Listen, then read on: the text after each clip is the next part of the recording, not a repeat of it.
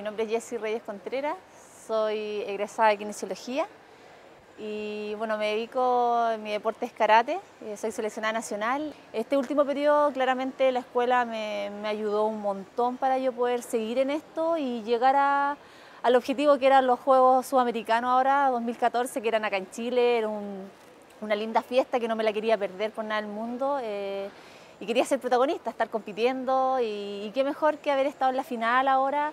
eh, vistiendo los colores de Chile y bueno, de, la universidad por supuesto, porque siempre está muy presente en mí,